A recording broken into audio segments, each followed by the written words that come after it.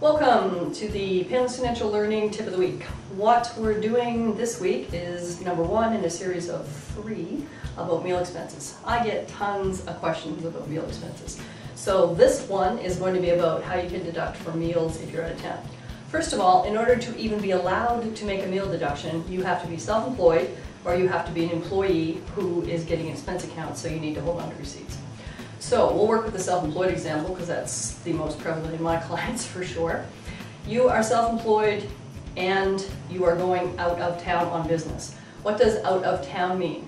Well, technically it means away from the uh, metropolitan area in which you customarily do business.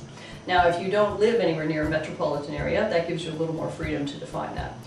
The other rule is you have to be gone for 12 hours. Now, how can they tell this? Give that some thought. If you buy gas at 9 o'clock in the morning in your normal area, and you buy gas at 5 o'clock at night having returned from being away, then you're not going to convince anyone you were gone for 12 hours, should they ever look. However, that's not something that is always examined. You know what I mean? So, you're out of town. Are you on business? You could be gone away to a convention, to a conference, you could be meeting a client, a supplier, a potential client, a potential supplier. All of those things can happen when you're out of town and you're allowed to take a deduction for that meal.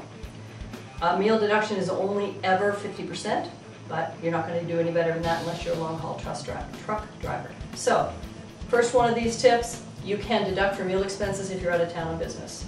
Thanks.